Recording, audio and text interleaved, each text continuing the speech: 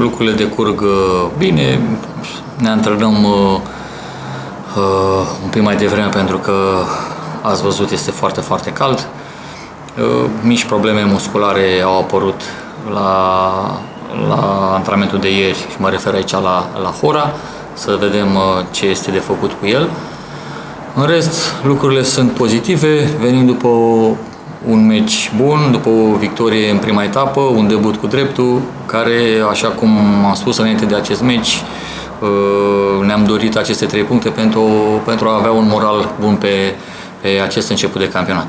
Mister, reîntâlnire cu Adrian Mihalcea, un deja viu, anul trecut la Slobozia, au fost niște meciuri, putem spune crâncene, care s-au lăsat și cu niște urmări, desigur.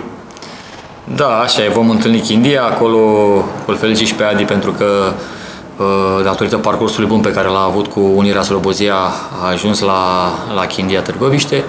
Într-adevăr, a fost, a fost o luptă dură în acel sezon de, de Liga a doua, dar acum este cu totul și cu totul altceva.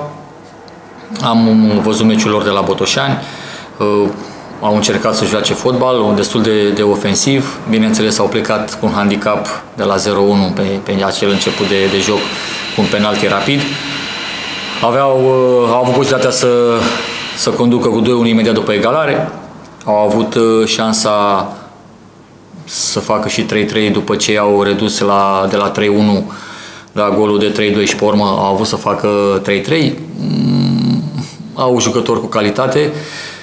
Uh, nu va fi un meci, un meci ușor. De fapt, ce meci va fi ușor pentru noi? Dar uh, plecăm cu, cu încredere și ne dorim să scoatem uh, maxim din acest, din acest joc. O să avem și o galerie alături de noi. Nu știu dacă știți, s-au mobilizat pe, pe social media.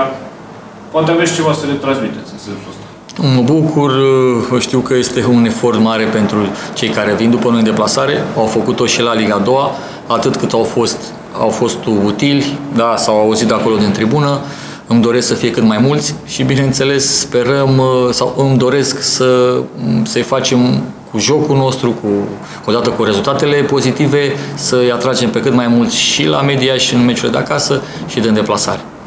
Și o ultimă întrebare, în ce, la ce nivel de pregătire a ajuns fundașul dreapta mexican Medina?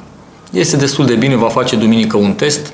Uh, încercăm să-l integrăm ușor, ușor și din punct de vedere tactic, dar trebuie să avem răbdare cu el, pentru că am spus-o mereu, jucătorii care vin pe parcursul campionatului mm, vin în general uh, destul de nepregătiți și atunci să-i forțăm și să riscăm o accentare și să-i pierdem pentru vreo lună, o lună jumate, nu cred că își dorește nimeni, nici patronii, nici președintele și uh, nici noi uh, staff.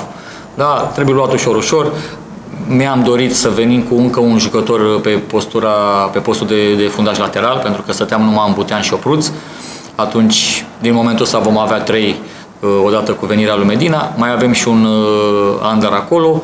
Uh, ne gândim că lucrurile sunt bine din busa de vedere ca și poziție de fundaș lateral.